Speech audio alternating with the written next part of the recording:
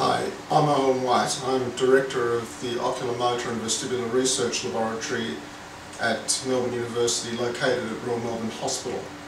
We have a number of projects looking at using eye movements for assessing cognition in patients in health and disease and trying to understand the correlation between movement and disease.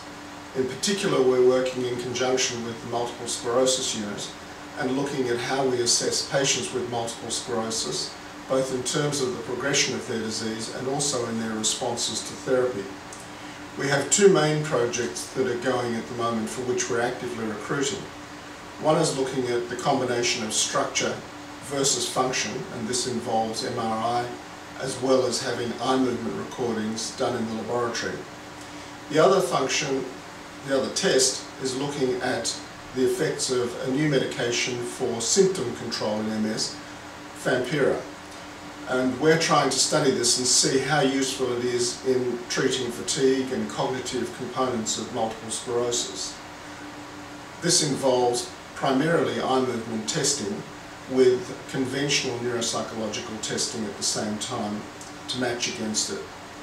For anybody who might be interested in enrolling in these studies or participating in any of our studies, it would be helpful if they contacted us and the most appropriate way to do that is through Ms Sue Hill in the Department of Neurosciences at Royal Melbourne Hospital on 0393424586.